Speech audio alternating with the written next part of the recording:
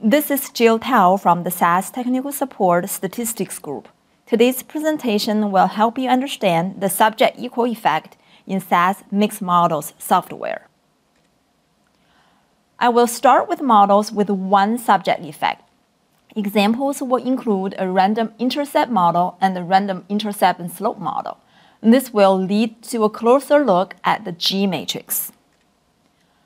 Then I will talk about models with more than one subject effect. Issues include whether you should specify the subject effects as crossed or nested, how do you specify the models so they are more numerically efficient, and what it means to make the model processed by subjects. Finally, I will use a model with both random and repeated statements to further explore the subject effect, and I will explain the R matrix as well. Let's begin with this simple example, which consists of data from several hospitals. Each hospital has multiple patients, and each patient has four measurements of X, a covariate, and Y, the response variable. Let's ignore the hospital for now. Just consider the random patient effect. You can fit a random intercept model.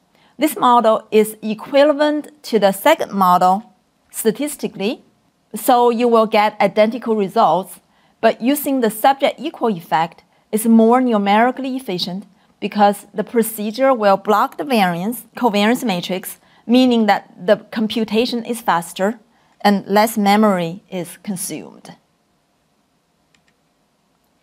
A random intercept and slope model adds the covariate x to the random statement.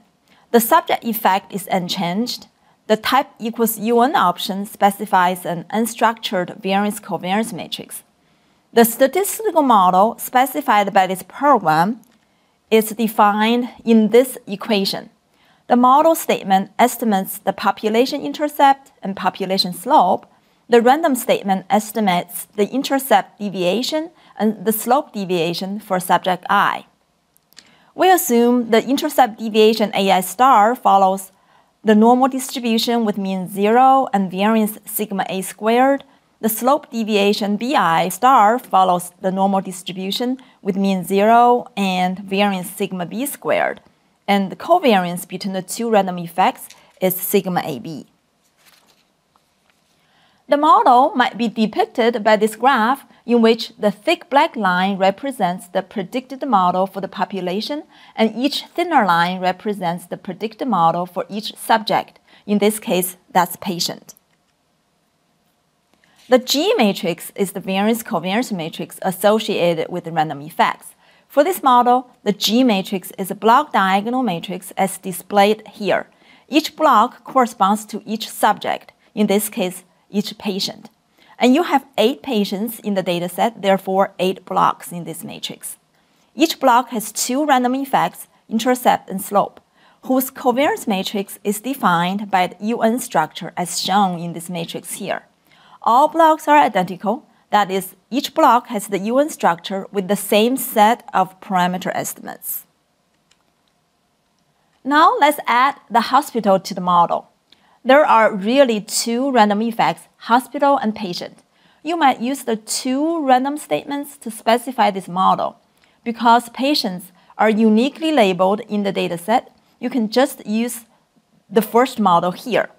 Conceptually, patients are nested within hospitals, assuming patients do not go to different hospitals. Alternatively, you could use patient nested within hospital to represent the patient random effect. For this particular data, you would get the same results. However, nesting is preferred because you will have a common subject hospital in both random statements, which makes the procedure process the model by subjects and is therefore more numerically efficient.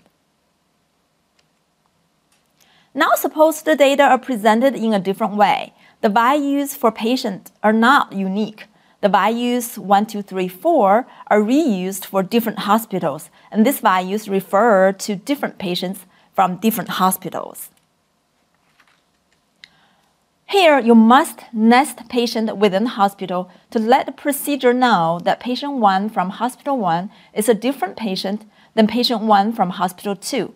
So in this case, nesting is necessary.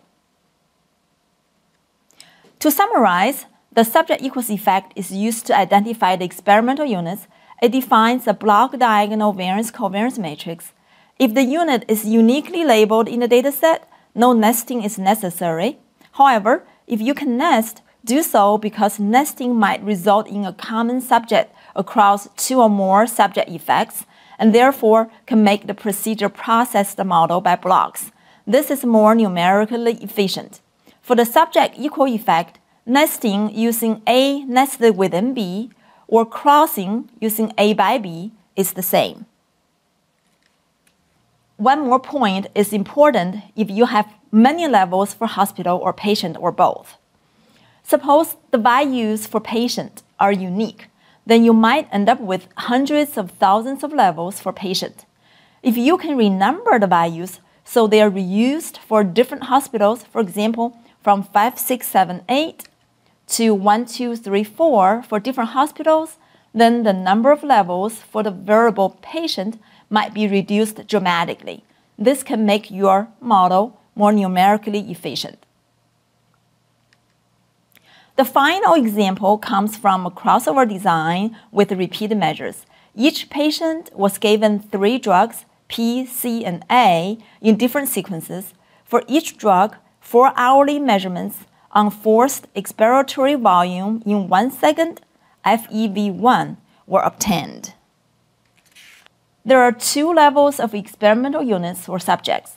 One level is at an individual patient. At this level, different treatments are administered to each patient. Another level is individual patient at a specific treatment. At this level, different time points were given to this subject. There are different models you can specify for this data. One code sample is shown here.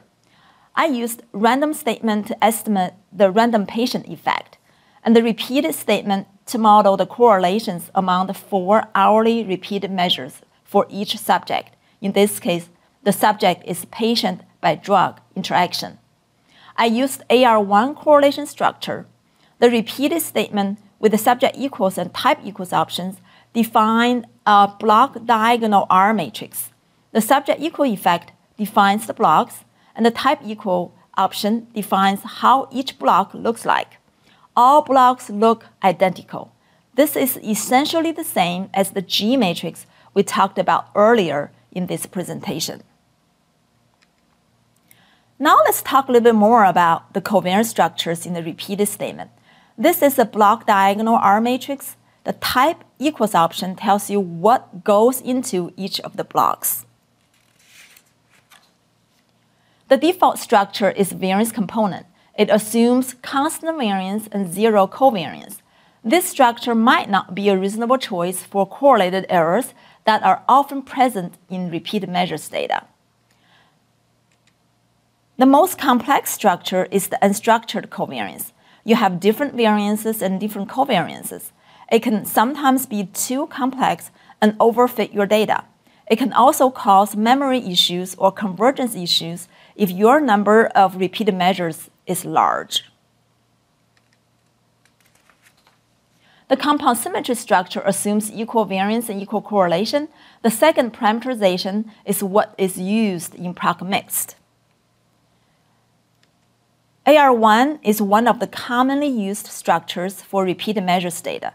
It assumes equal variance, and the correlation is a power function. If the power function for the correlation decreases too rapidly for your data, you might want to consider the Toeplitz structure.